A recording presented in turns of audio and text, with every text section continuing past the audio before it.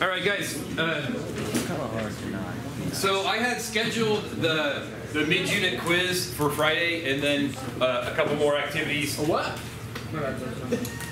I had scheduled the mid-unit quiz for Friday, and then a couple more activities, and the unit test to be uh, Wednesday or Thursday of next week.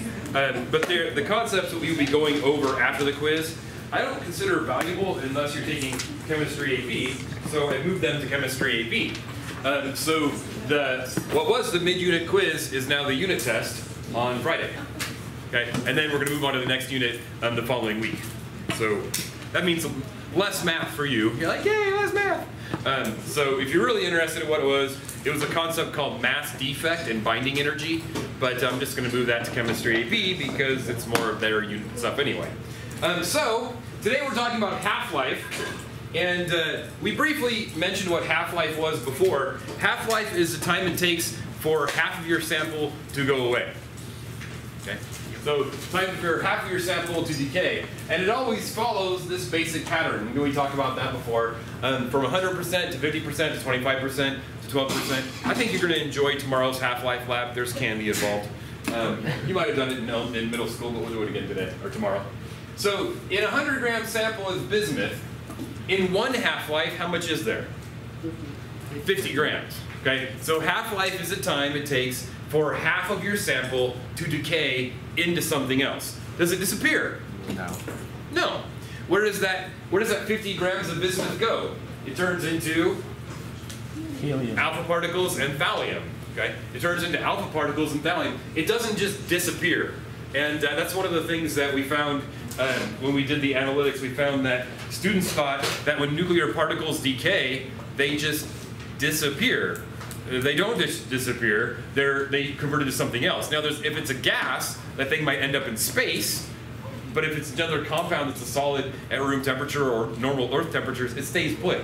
So bismuth is a metal, so is thallium. So you would look at it and be like, come on, come on. It's like, hey, I'm turning to thallium here. You're like, I, I don't see it. I just, it's, you're still a metal. Um, but the bismuth is turning into thallium. You just don't see it because bismuth and thallium are both metals. Now, when something decays into a gas, it might float away to space, but you know, it's yeah, it doesn't disappear. It doesn't decay into nothingness. Okay, that's the conservation of uh, matter that you're supposed to learn in like fourth grade. The conservation of matter tells us that all matter in the universe is, is pretty much the same. Matter and energy is conserved before and after, same. Okay. All right. Anyway, um, so how much is there after two half-lives? 25. 25. 25 grams. Okay, this is easy stuff. After 20 days? Oh. Maybe you should chat with your neighbor and see if you can figure out what it, how much is left after 20 days. Well, it's more than-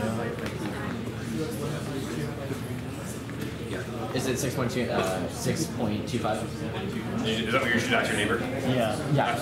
And your neighbor agrees? Yeah. That's on 25, right? That's on the second half. Right? Yeah, 25 is the second. Yeah. Yeah, so it would be 12.5. And then after that, it would be 6.25. Yes. At time equals zero, you got 100 grams. How much do you have after 20 days? Okay, if, uh, if your neighbor said that there is less than 50 grams, raise your hand. Good. If your neighbor said there was less than 20 grams, raise your hand. Good. If your neighbor said there was, there was less than 10 grams, raise your hand.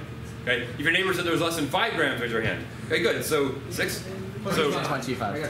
6.25? Okay, so we go from zero half-lives, We've got 100. In fact, I find sometimes it's kind of fun to make a little table that looks like this. Sometimes it's kind of fun to make a little table that's like, this is half-lives. So after one half-life, you got 50. After two half-lives, you got 25. After three half-lives, you got 12.5. After four half-lives, you got 6.25. Okay, so one half-life is uh, five days, two half-lives is 10 days, three half-lives is 15 days, and four half-lives is 20 days. So I find it's kind of fun to make a little table. But yeah, about six and a half or 6.25.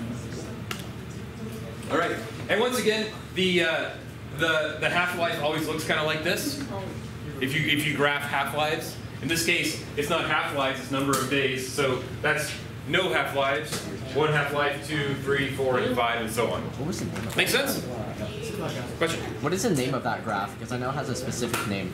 Decay. Just half-life decay graph. Okay, well, I always think about it from a math term because there's a it's a graph that never reaches zero. Technically. Ask your math teacher. Ask Schultz. He knows things. Okay. Ask Strachan. He knows things. Yeah, those two are smart. Okay. And those two are smart. So now that you have some uh, a little bit of ex- uh, practice, so you can do it on your own. So let's try this. The half-life of cobalt 50, 60 Yay, that's mine. is five years. If you have 10 grams of cobalt 60, how much do you have after 15 years? Do you have an answer or a question? I have an answer. Cool. Um, so let's give everybody a minute to work on it on their own or do it in your head. Um, and uh, just because, you know, let's all be a team. We're a team. Team. We're a team. Hey, look, the carbon fit perfectly in there. All right. If uh, if you got less than five grams, raise your hand. Cool. Less than two grams, raise your hand. All right. Less than one gram, raise your hand. All right. Um, so in so in one half life, you're gonna have uh, five grams, Yes. right? And in two half lives, you're gonna have 2.5 grams. And in three half lives, you're gonna have 1.25 grams. Make sense? So this is gonna be uh, five years. This is gonna be 10 years. This is gonna be 15 years. Make sense? Okay. Um, now, of course, there's math exercises you can do to do, to do half-life on your calculator. Um, but I don't want to do them. I'm going to do tables. Um, if you want to do math half-lifes, then you can take chemistry AP. They like doing math in that class. So americium 242 is a half-life of six hours. If you started with 24 grams and you now have three grams, how much time has passed? So give it a shot.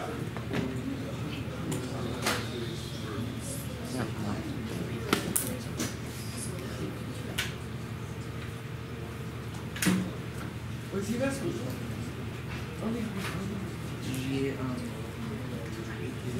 yeah. How do you I mean, I think it's okay. How about mine?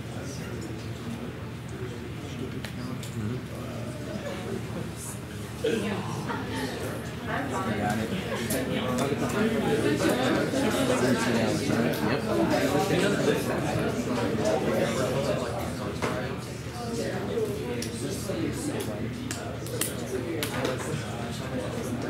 Okay, so how long did it take? Four hours. Twelve hours. 12 hours? 4 hours? 8 hours? 18 hours. 18 hours. Okay, so in uh, oops, wrong. Backwards. So yeah, in in one half life we're gonna have 12 grams. In two half lives we're gonna have six grams, and in three half lives we're gonna have three grams. So three half lives is 18 hours. Cool. Now give me a thumbs up if you can handle this. This is something you can do. Okay, wave your hand around if you're like, I'm so confused. We do it all over again. How many hours? Okay, it? How many so- hours was it? Question. If, if we're putting in a table, if it says one, you want to put the first, like, value of the grams first, does that make find the half-lives? That's what I'm doing. Yeah, I'm going like in one half life there's 12 grams, in two half lives there's six, in three half lives there's three, and so on. You can put a zero. You can say zero half lives. There's 24 if you want, um, but that's just makes sense to me. Question. I'm just, how do you, Okay, let's go over it again. So I'll go over it again slower. So again, there is math exercises that we can do, but I, I don't see the reason until we really have to do the math. So I make a table where I have uh, the number of half-lives and actually that's right here. Number of half-lives and then the time and the mass. So in zero half-lives and zero time, you're gonna have the full 24 grams. So far so good? Now, in one half-life, this is gonna split in half, and you're gonna have 12 grams. Okay? And one half-life is six hours. Cool? oh, I started with the wrong number. Ah, okay. Do you want, should I continue or? Yeah, I- no, I got. So two half-lives, 12 hours, six grams, and so on. Next, ID 131 is a half-life of eight days. Question, yes. So the answer to that was how many times? It was nine hours. 18 hours. How did you get that? Um, okay, so uh, I needed three half-lives to reduce to three grams, and that's 18 hours because it's six hours times three. Oh, 'cause it's six hours. Oh, Yeah. wow. Okay. ID 131 has a half-life of eight days. If you have eight grams of ID 131 and 16 days pass, how much ID do you have left? Oh. Easy, right? See. So how many half-lives have gone by? Two. Two. After one half-life, you got four grams. And after two half-lives, you got Two. two grams. We'll. Lastly, tin had 126 at a half-life of 1,100 years. Um, so, and if you have 7.8 grams left of a 250 gram sample, how much time has passed? This might take a little. This might take a little tabling.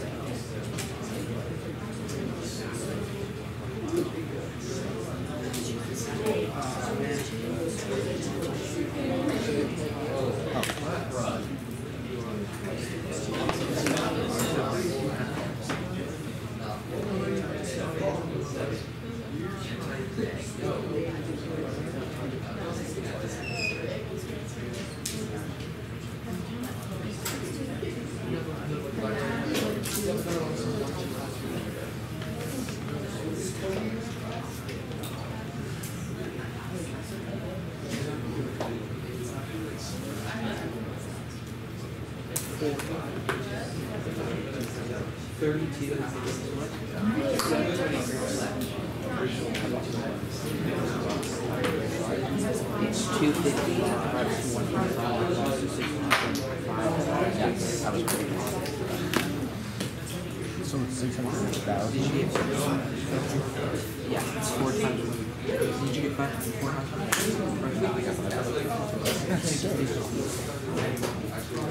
Because like I only got four half. it's two hundred fifty grams, right? One half life. No, but there's 7.8 left. So that's how much is left. Oh, I'm trying to find some point. Yeah, so then that would be 500,000 years. Yeah, it was five hundred. I rounded. 250. No, but that I divided by two and then rounded. life, two half life, three half Do, do, you, do you really want me to do like 62.5 and Thirty-two point two, or thirty-one point two five. Okay, fine. I know how you guys are. Like, ah. don't round, Mr. Bires. That's confusing. Okay.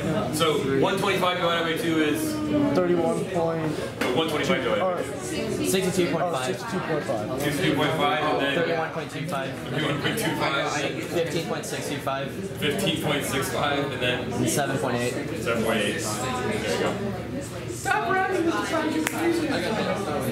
So half-life, one half-life, two half-life, three half-life, four half-life, five half-lives.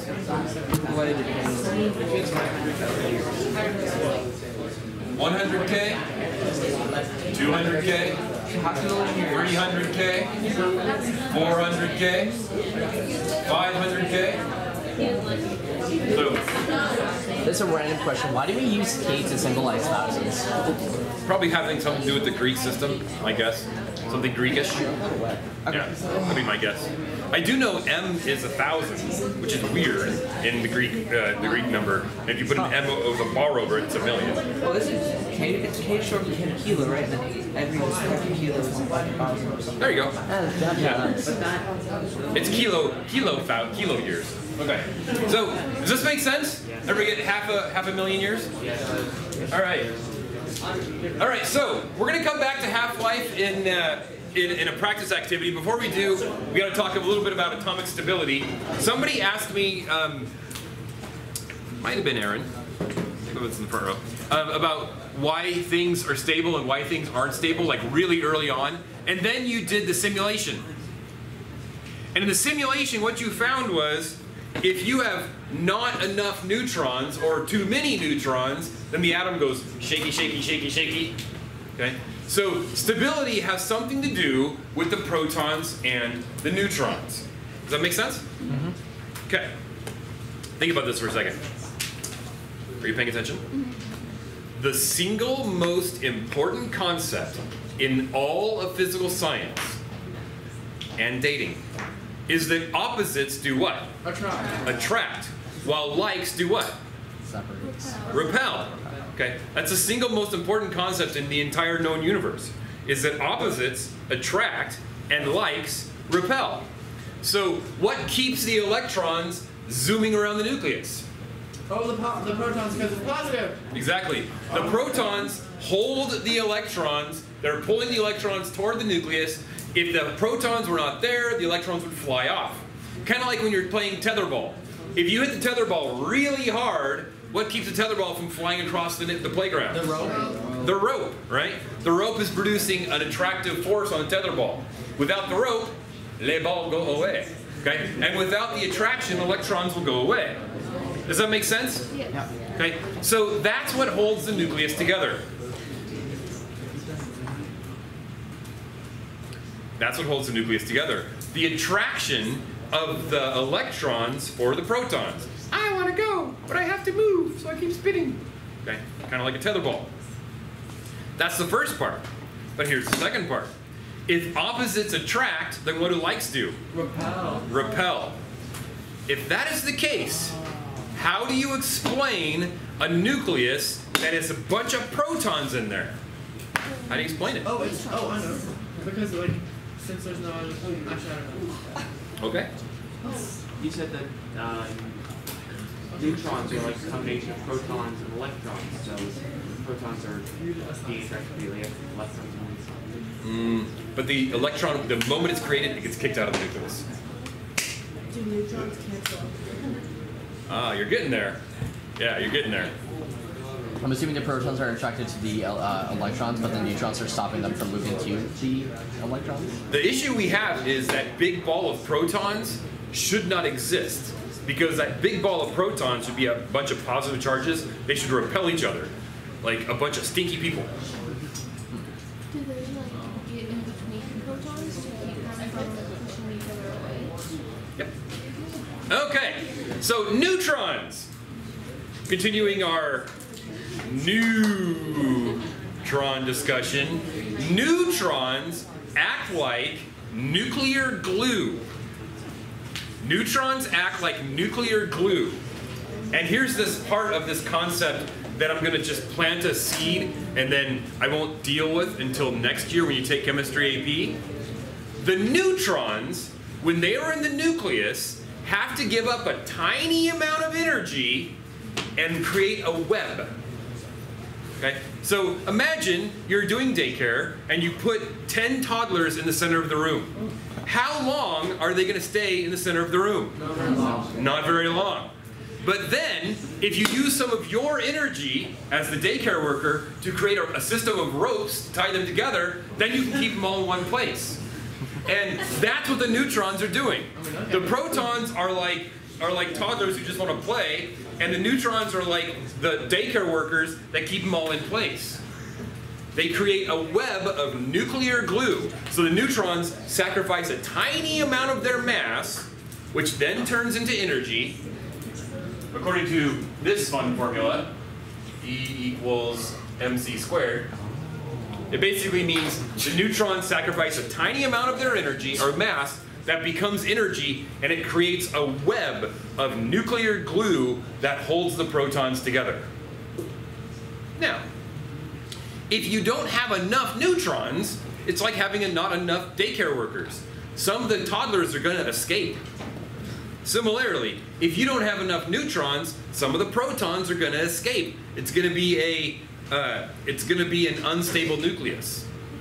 Similarly, if you have too many uh, daycare workers, then a couple of daycare workers are going to get bored and they're going to go check their, their phones. They'll be like, I don't care, I'm not doing this.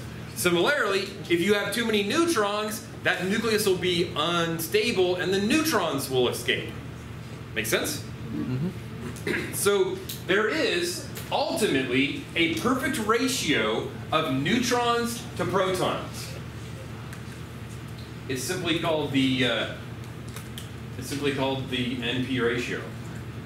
Okay. So neutrons act like nuclear glue to hold the protons together. Without the neutrons, the proton's positive charge, they fly apart. So what we do is we look at the ratio of neutrons to protons. An ideal ratio, I'm going to show you the, the that next thing is, the ideal ratio for a small nucleus is different than a big nucleus. Similarly, if you have like two or three, if you have two or three uh, toddlers in the daycare, one adult can handle it. If you have 50 toddlers in the daycare, you're to need a lot more adults. So the best ratio for stable atoms when they are small is one to one. The best ratio for big atoms is 1 to 1.5, or sorry, 1.5 to 1. For instance, if you look at nitrogen, nitrogen is atomic number 7 and has a mass of 14, which means how many protons? 7. How many neutrons? 7. We're talking about what that number represents later, why it's Wait, not a whole number. So the big, so the big ratio is one to one twenty, one point two five. Small, the best ratio is 1 to 1. 7 to 7. Oxygen, 8 and 16, 1 to 1. Okay? So for small nuclei, the best ratio is, there we go, 1 to 1. For small nuclei, the best ratio is 1 to 1. 3 to 3, 7 to 7, 10 to 10. But as you get larger and larger, you notice something. Look at bismuth. Bismuth has 83 protons, but a mass of 209. Alexa, what is 209 minus 83? 209 minus 83 is 126. Okay, so bismuth has 126 neutrons, which is almost exactly 1.5 times 83. Does that make sense? Mm-hmm. In that in that ballpark, it's like it's like 1.4. But as you get heavier and heavier, you need more and more neutrons. The heaviest nuclei need 1.5 neutrons to every proton. Does that make sense? Okay. Cool. So that's uh, that's the ratio, and then that gives rise to the band of stability.